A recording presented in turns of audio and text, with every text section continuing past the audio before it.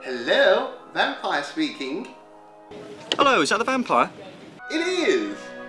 Colin Maxwell here, Evening News. Wondered if I could have a quick word with you about being a vampire. Why, yes. By the way, what time is it?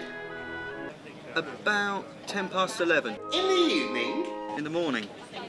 Ooh. Hello? Hello?